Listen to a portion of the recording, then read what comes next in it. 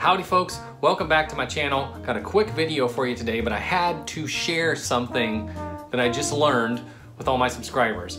So a little while back, I did a video about this amp right here. This is the Wangs Mini 5 5 watt all tube guitar amp.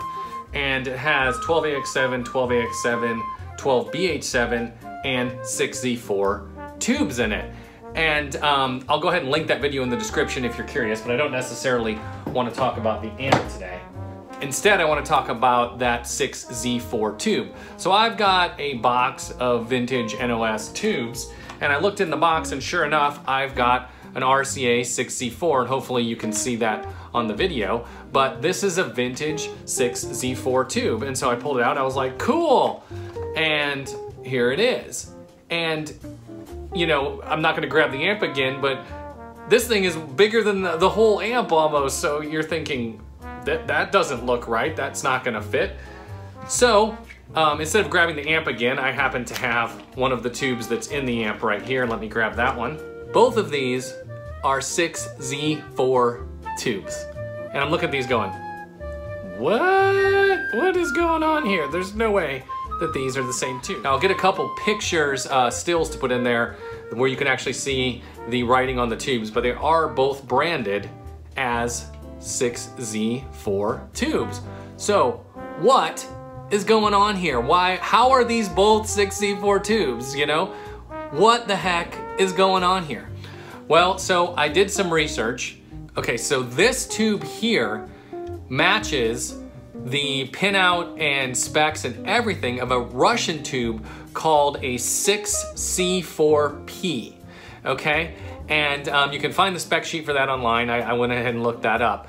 But that tube then matches almost identically to this tube here, which is the American 6Z4. So basically, a Russian 6C4P is more or less identical to an American 6Z4.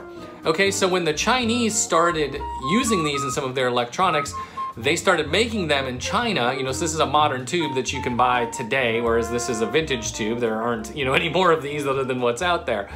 So they branded it as a 6Z4. So that's why there are two different uh, tubes with the same designation. Now, reportedly, and again, I haven't done this myself, but from what I've seen on web forums and such, there are people that say that they've changed out the base and they can take a modern uh, electronic like that tube amp I just showed you and change it out to a vintage base like this and just put this tube in it and it will work flawlessly.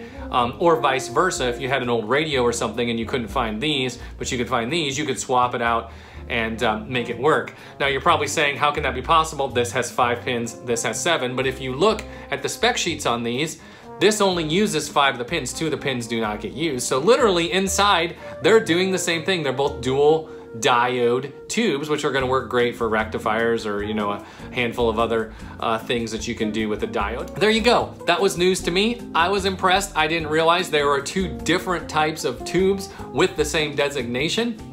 I was surprised. I couldn't find any videos on it, so I figured I had to make one. But again, these are both 6Z4 tubes.